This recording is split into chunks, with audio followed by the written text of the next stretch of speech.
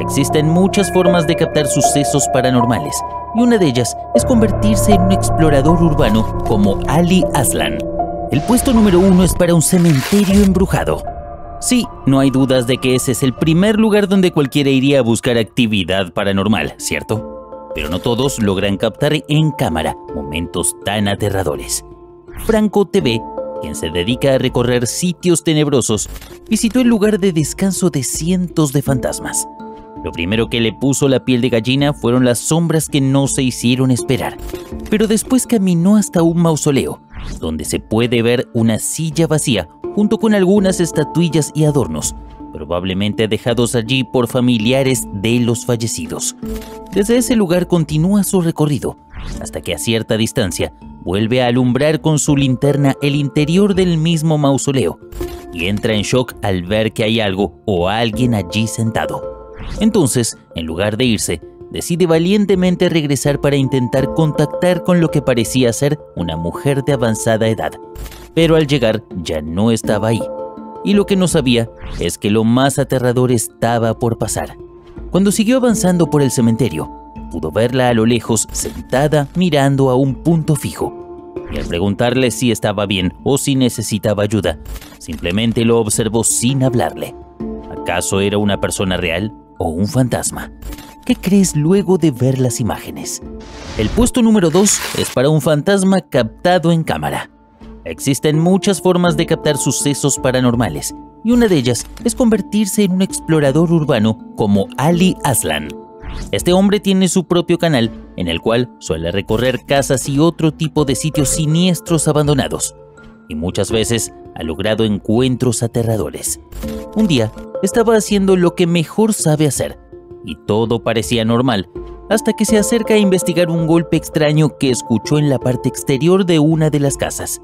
En ese momento, se encuentra con que la puerta estaba abierta, y al ir hacia afuera, es sorprendido por un increíble rayo que de pronto ilumina todo a su alrededor. Pero el rayo no fue lo que lo asustó a él o a sus seguidores, sino la extraña sombra de pie junto a la construcción, que se hizo visible gracias a la repentina luz del rayo.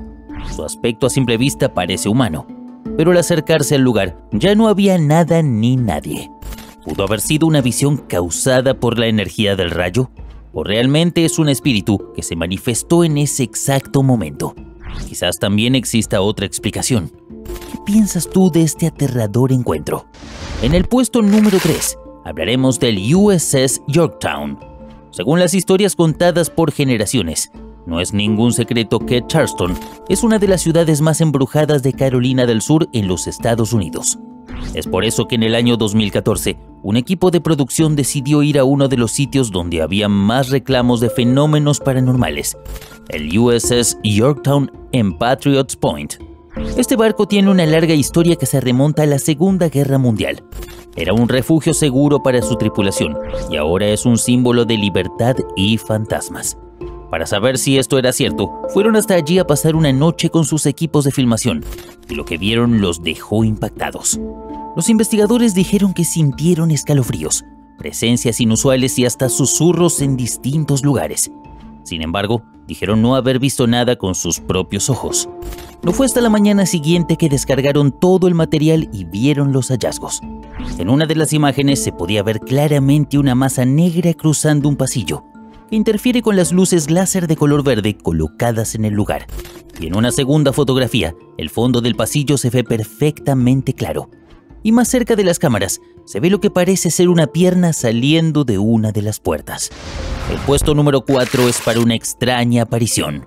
Muchas de las personas que dedican su vida a detectar actividad paranormal aseguran que tienen muchas formas de manifestarse. Algunas veces golpean objetos y hacen ruidos, otras Pasan cerca y con su energía son capaces de erizar la piel.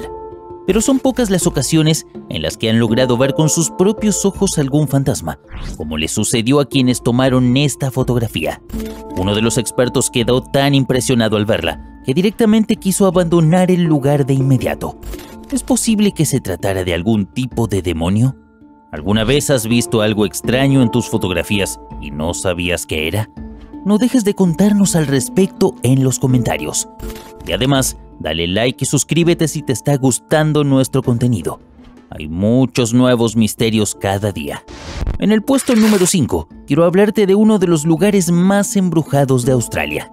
El estado más antiguo de Australia, Nueva Gales del Sur, fue el sitio del primer desembarco de los británicos en 1788.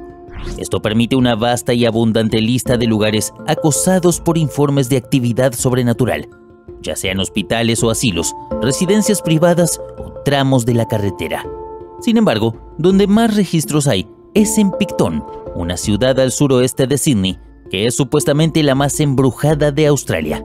En él hay un túnel de 180 metros de largo excavado directamente bajo una colina, donde hay muchos rumores de espíritus vagando por él.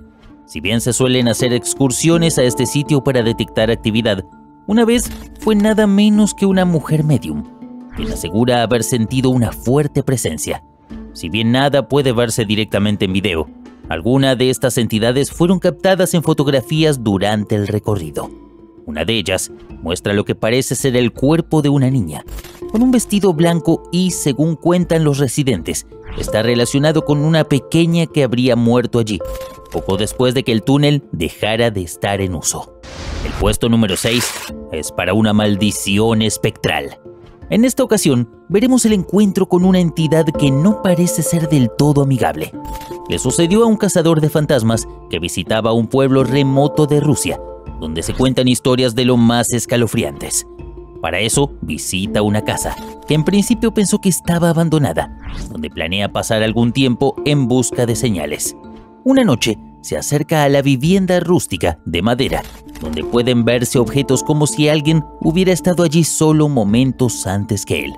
Entonces decide seguir investigando al día siguiente. Pero desde su tienda de campaña, afuera de la casa, comienza a grabar aullidos y gritos. Definitivamente no estaba solo.